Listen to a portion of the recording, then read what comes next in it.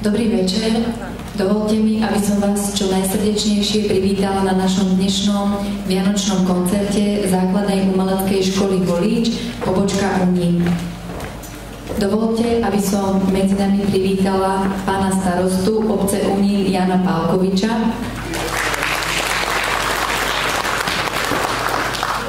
riaditeľku základnej a materskej školy pani Michaelu Vaňkovú, a dovolte mi, aby som srdečne privítala aj vás, rodičov, žiakov, detí a všetkých tých, ktorí ste prišli dnes vaše aj naše deti podporiť na tomto Vianočnom koncerte. V úvode sme mali možnosť počuť žiakov prípravného štúdia a hudobnej náuky a predviedli sa nám s dvomi vianočnými koledami Dieťatko spanilé a Ochyr preblahy s klavírnym doprovodom pána učiteľa Miloslava Slezáka. Poprosím pre nich